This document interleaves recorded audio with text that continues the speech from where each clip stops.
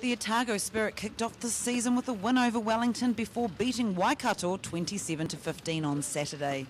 A mix of younger players, Black Ferns, and World 7 players have helped generate support on the sidelines. Yeah, we had some pretty good support last week. Uh, lots of the girls, family, and parents travelling down, and obviously friends. So it's always good to have a bit of a crowd on the sideline.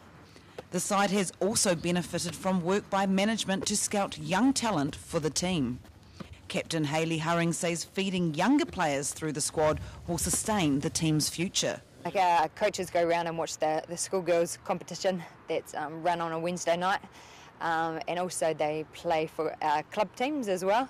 So we're fortunate enough to, to have them in the club and then from there they get selected into a Otago team.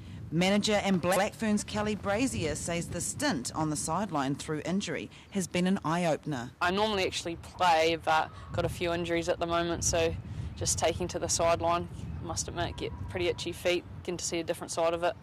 Another Black Fern player, Hayley Hurring, says the competition within the team is strong. There's always, a, I guess, a, a, fight for your position uh, in terms of the starting 15.